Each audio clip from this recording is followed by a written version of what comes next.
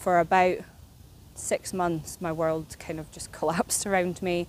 Um, I took some time off of work and really had to focus in on myself and my daughter and also preparing for my surgeries as well because um, it wasn't that long after I got my results that I had my surgeries and then also having to deal with lockdown and COVID in the midst of it all as well. So there was a lot going on at the time, um, lots of really big emotions having to kind of navigate through as well.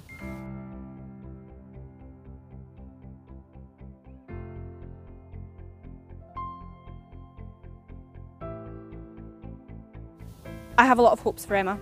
Um, one of them being, of course, that she doesn't end up on the wrong 50% chance of getting the genetic alteration. But my hopes are that if she does fall on the other side, that there is going to be the support there that there wasn't there when I went through my journey. But also, and I hold great hopes for this, that the amount of research that's going on in this medical world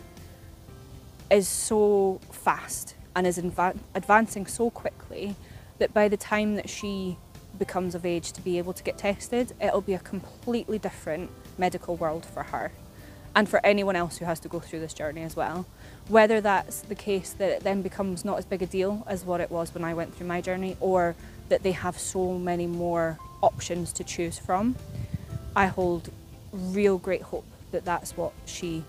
enters if she has to go down this path as well.